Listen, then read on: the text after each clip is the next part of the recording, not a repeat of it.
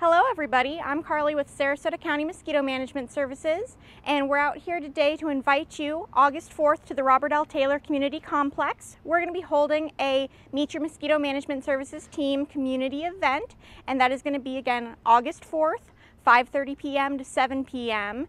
and we're going to have a presentation, we'll have goodies to give away, and then we're going to open up to answer your questions. If you do have a mosquito problem in the meantime, or if you have any other questions before the event starts, please call 311 or visit us at scgov.net slash mosquito. Looking forward to seeing you there and have a great one.